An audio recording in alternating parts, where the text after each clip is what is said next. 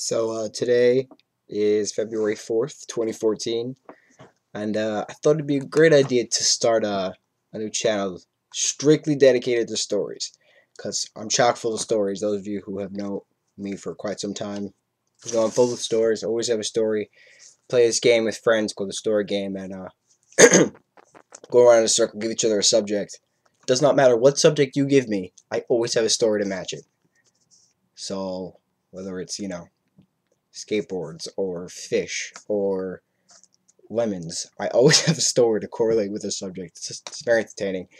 Um, so I figured today, this day in history, so February 4th, 2004, believe it or not, 10 years ago today, Mark Zuckerberg um, co-founded Facebook in his Harvard dorm room. And is that, is that weird? 10 years of Facebook. I've been a member since 07. But uh, all right. So story. So I'll do this thing. I'll try my hardest to, to tell a story every single day. I always have stories, and they're always entertaining. Sometimes, I guess, but uh, I don't know. People always like to hear them. So I want to say what happened today. So what I'm gonna do is every time I do a video every day, I'll do a story. So the subject matter. So I'll pick from a hat. I'll write a bunch of random things down pick randomly from a hat and then unfold it. So as for instance, let's say I happen to put this piece of paper in a hat off to the side by this part of my TV over there. Pick it out, look at it, ha ha ha, and show. So today's story is about coffee, right? Because specifically what happened today.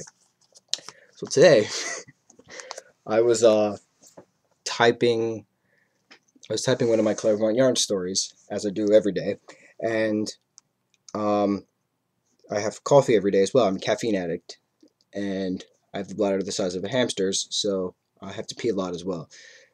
So I make a cup of coffee. Cup is in like a mug, so like we're talking mug of coffee, real man's coffee. So sometimes I'll have it black, sometimes I'll have it with Coffee Mate. Depends on the day, honestly. So I looked in the fridge. We're out of Coffee Mate. I was crying. We were out of soy milk. I was crying because I love soy milk. And uh, my mom has this coconut milk, but I always get screamed at for using her coconut milk, so didn't touch that. But I saw that um there was this black bottle and it said Irish cream in the fridge, and I was like, oh, we've had Irish cream coffee mate before. It must be new bottle, must be special edition, something like that. Because I remember I didn't see it yesterday. So I take the Irish cream out, I pour it in my cup. Now, really, okay, mug of coffee, right? Mug. So that much is coffee, and then that part would be cream.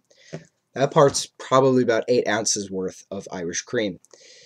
So I didn't know that it was alcoholic until I was typing and I had to go to the bathroom. So I bolted out of my seat from my desk, as we are now, and um, all of a sudden just staring, and just the room just started to spin, and I'm like, why the hell? I like, why is it so dizzy? Why am I so dizzy right now? And I was like, something's not right. So I hobble into the bathroom, go to the bathroom. I hobble downstairs, check the bottle that's in the fridge, and I was like, all right, this made the coffee taste weird, but I was like, I'm not going to waste a cup of coffee. That's sacrilege. Why, why would ever waste a cup of coffee? Yo, cup of joe is awesome. So I check, and uh, saying like 17% alcohol on the Irish cream, and I was like, oh my god, it's 2 in the afternoon. I'm drunk. I, I, am a lightweight when it comes to alcohol. I don't like drinking to begin with. I hate being drunk.